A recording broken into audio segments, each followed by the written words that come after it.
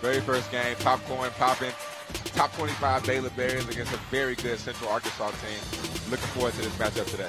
It all the way. Layup is up and in and a foul. What Coach do in the next few years. Teague misses on the runner. Rebound Baylor. Kick out.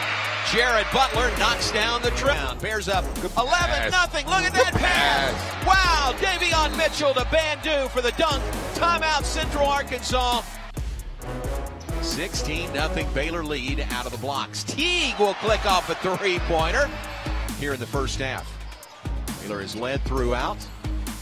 Three by Teague. Mark Vital. The extra pass to Butler from Gillespie. Outside to Butler. Three more for Jared Butler.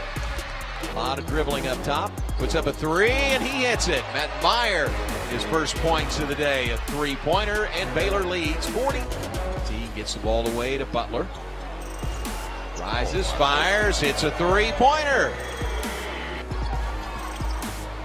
Whoa, nice spin move. Land with the left hand is good by MaCio T. MaCio T, what a move by MaCio T.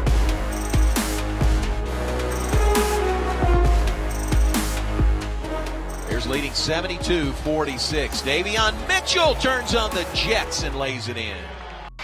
Big opening day win for Scott Drew and the 16th ranked Bears. They win it today over Central Arkansas at the Ferrell Center.